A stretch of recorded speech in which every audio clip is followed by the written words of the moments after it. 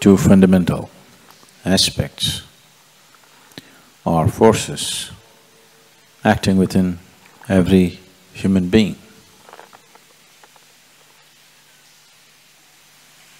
One is uh, the force of self-preservation. The instinct of self-preservation is constantly striving to build walls of protection around yourself. And the longing to become boundless is constantly striving to push you beyond the boundaries in which you exist. It is these two which are finding variety of expression, either in the form of accumulation or in the form of every kind of desire that one can throw up, is essentially the play of these two forces. Once you make the mistake of identifying yourself with something limited, the instinct of self-preservation wins, hands down.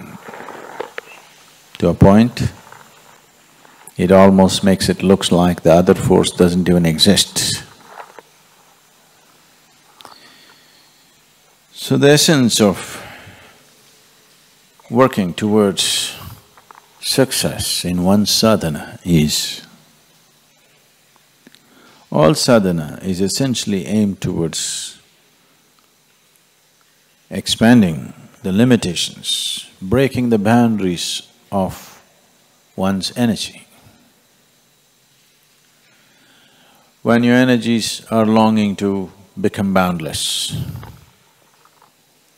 in your thought and emotion, if you're identified with limited things around you, then you will create an unnecessary tussle between the two forces.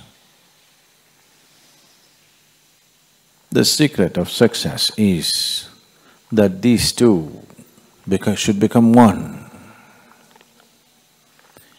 Unless these two things become one, you do not have enough energy to break the limitations of the present dimension, to break the boundaries of present dimension, because now whatever you have is split.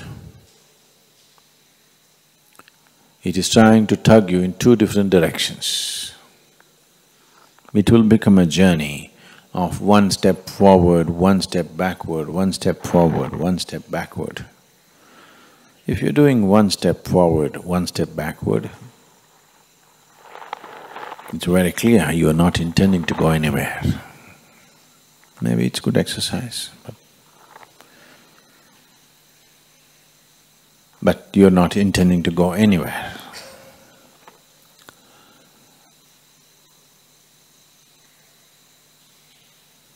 Once you're identified with the limitations of your own body, what you refer to as extended body, extensions of your body or family, house, it's not you should not have them.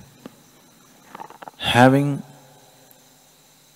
a body and being identified with is different. Similarly, having a family and being identified with it is very different.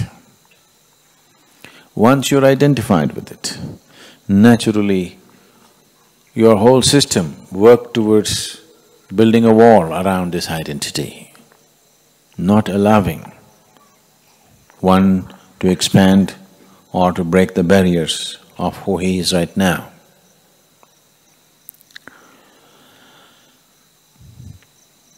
Shankara laments, Kate Kanta Dhanagata Chinta, which means once you're identified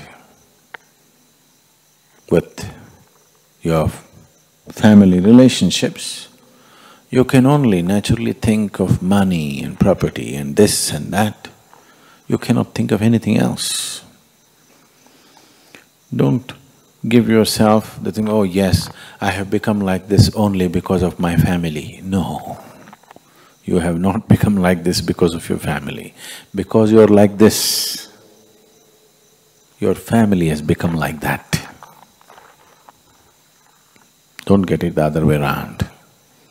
It is the way you identify yourself with it, that certain things are happening. Nothing outside of us is a barrier. It is the way we hold it, the way we carry the outside within ourselves is the barrier.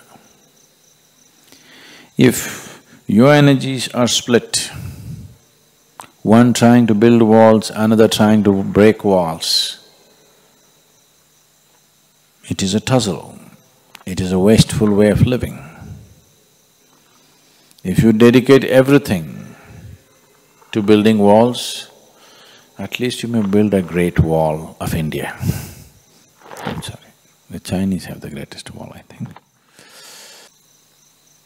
Or if you put all your energies towards breaking boundaries, that will definitely happen. There are old barriers, walls which were built elsewhere, which may take a little bit of time to break. But the important thing is that you're not building new walls. Old walls can be made to crumble. But the problem is the new walls that are coming up every day. This is not something that you have to do consciously. Once you have a limited identity, everything in you builds walls. There is no other way. So sadhana is pushing you in one way. If your mind is pegged down to limited things, you're unnecessarily creating a tension in the system. So it's very important. It's like you tied up your boat and you're rowing it hard. Good exercise again, but you're not going anywhere.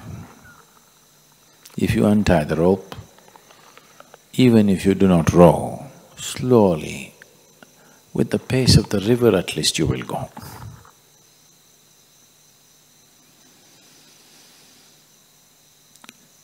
Spiritual journey need not be effortful, it just needs to be sensible. But to come to sense, it may take effort sometimes, need not but it may.